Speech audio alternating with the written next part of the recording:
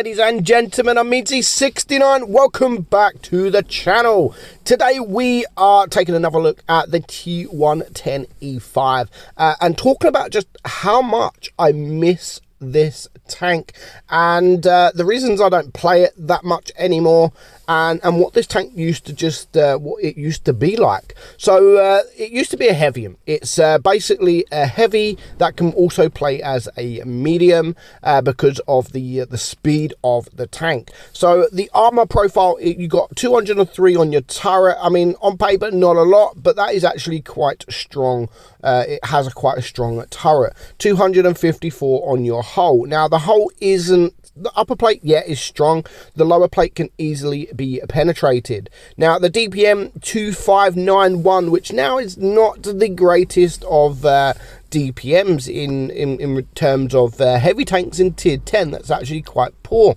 Um, uh, well, not poor, poor, but you know, there's there's other tanks that are quite a few tanks that are better than that. Reload is 9.26 seconds. The penetration 258 on your AP, 340 on your heat and 60 on your HE. Now, you could run this with calibrated shells. The penetration would go you higher, uh, but to be honest, keep the DPM. The penetration, especially the heat, is fine as it is. So you need to uh, to keep with the rammer to uh, to keep that gun pressure. Uh, sorry, to keep that DPM high, uh, higher. Sorry. So it is a 400 alpha gun, 340 on your heat and 515 on your HE. Three second aim time and dispersion is 0.317, and it does have eight degrees of gun depression, and the speed is now 37 kilometers per hour, which is not that quick now, uh, but it does have the uh, the extra speed boost that this uh, you can use to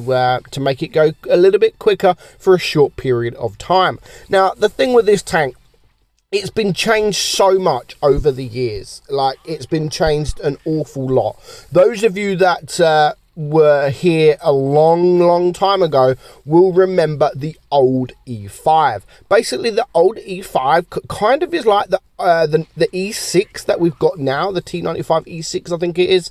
Um, that used to be this E5. Now, you can't see it on this because it's been removed, but if you just look on Google, if you put in T110 E5 in Google, uh, you will see the old. Uh, the old E5 and make sure you put obviously WoT Blitz in the front of it because it used to have a massive hatch on top like absolutely massive. And where this tank used to be like a, a heavium or it used to be able to go down uh, hold down quite easily um, it had the uh, the massive hatch on top that was easily easily pennable. Now, people like Amunet used to love the hatch because it used to be quite troll as well. So people used to just if you're hold down, people used to always aim for the hatch. And if you're moving side to side, and it is quite, it was even though it's a big hatch. Of course, if you're moving, um, it becomes sort of quite a difficult uh, to, to penetrate. So, uh, but most people,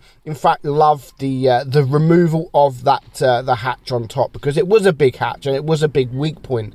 Um, but yeah, wargaming it used this used to be a very very very popular tank, very popular, um, especially after they removed that hatch. It used to be so popular.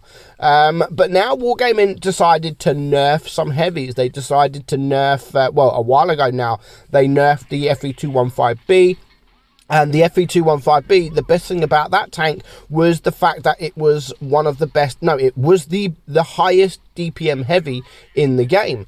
Uh, and then they bring in the WZ113, and yeah, it's it's all changed. And then they go and nerf the FV215B. They nerf the DPM, they nerf the speed, uh, the the turret rotation or the traverse, uh, and now that's probably one of the worst tier 10 tanks. Uh, and this is the same. Wargaming nerfed this tank. They nerfed uh, it quite badly.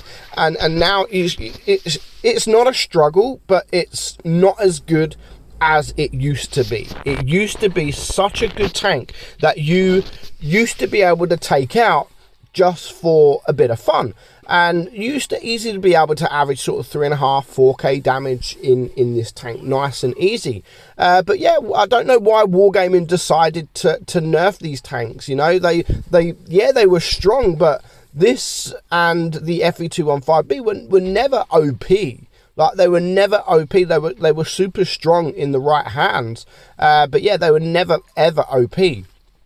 Get this this tank on a hold down uh, on a ridge, and used to be able to bounce everything.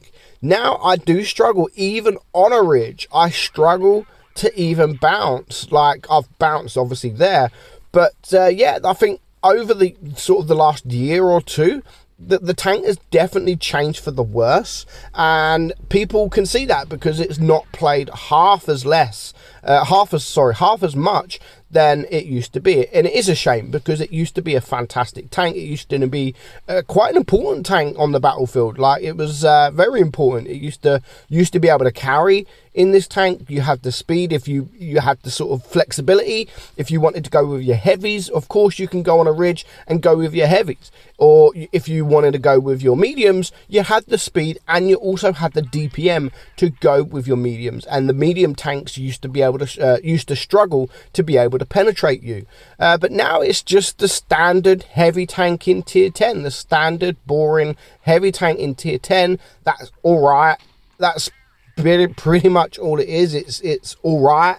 It, there's nothing sort of majorly bad about it. But now, because of all the nerfs, there's nothing ma- like massively OP or massively exciting about this tank, and, and that is what this tank has always been known for, and and that is the same as the FV215B. That's known that was known for its DPM, that was known for the hash, that was known for the turret, uh, and to be honest, like Wargaming just sort of got rid of that, and and it's annoying how Wargaming are nerfing all these old old tanks that have been around for many many years but yet they're bringing in new tanks that are way better than these tanks. They were way better than even even before these tanks got nerfed.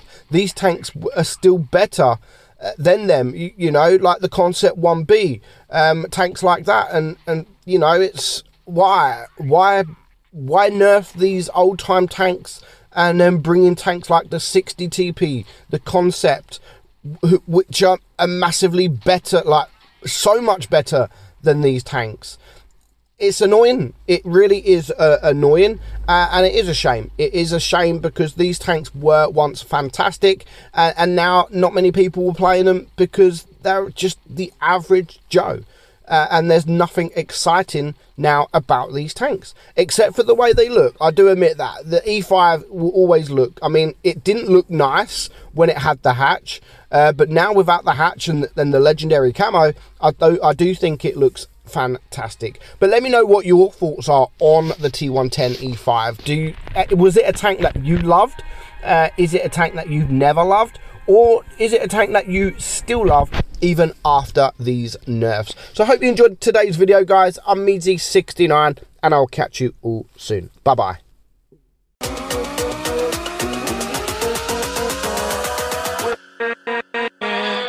with